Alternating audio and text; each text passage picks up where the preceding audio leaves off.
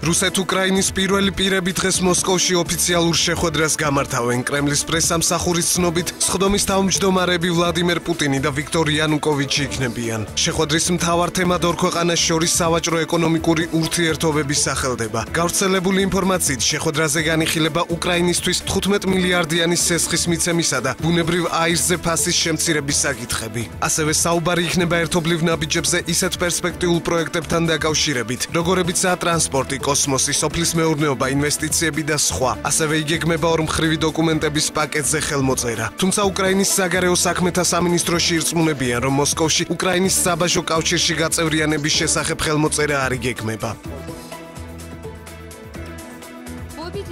რუსეთის საგარეო საქმეთა მინისტრი სერგეი ლავროვი ბრუსელში ევროკავშირის საგარეო საქმეთა მინისტრებსა და საგარეო საქმეთა და უსაფრთხოების პოლიტიკის საკითხებში უმაღლეს წარმომადგენელს კეთრინ ეშტონს გუშინ შეხვდა. შეხვედრის მთავარ თემას რუსეთსა და უკრაინას შორის სავაჭრო შეთანხმება წარმოადგენდა. კეთრინ ეშტონმა კიდევ ერთხელ სადად დაერწმუნებინა რუსეთის წარმომადგენლობა, რომ ასოცირების ხელშეკრულების ხელმოწერა ყველასთვის კარგის მომტანი იქნება.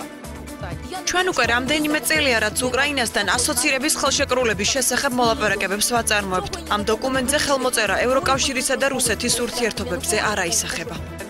სერგეი ლავროვის განცხადებით, უკრაინა სუვერენული სახელმწიფოა და გადაწყვეტილება დამოუკიდებლად საკუთარი ხალხის ნებასურვილის გათვალისწინებით უნდა მიიღოს.